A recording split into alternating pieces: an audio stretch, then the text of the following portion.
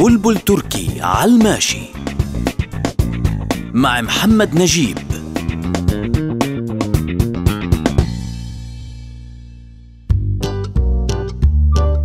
للسؤال عن الحالة المدنية باللغة التركية ممكن نسأل إذا واحد هل أنت متزوج؟ بنقول له evli misin evli misin misin يعني هل أنت؟ evli يعني متزوج. هل أنت متزوج؟ evli misin bekar mısın يعني هل أنت أعزب؟ هل أنت عازب؟ bekar mısın مش bakar بدنا ننتبه لكلمة bakar يعني هلا نظرت إلي. bakar mısın وهي bekar وحدة ب والثانية با ما بدنا نخطأ بيناتهم. bekar يعني هو bekar أعزب.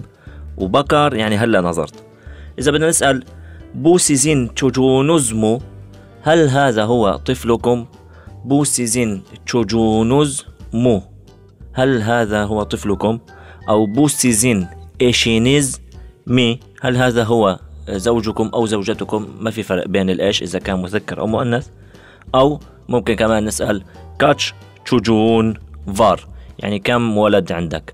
kaç çocuğun var.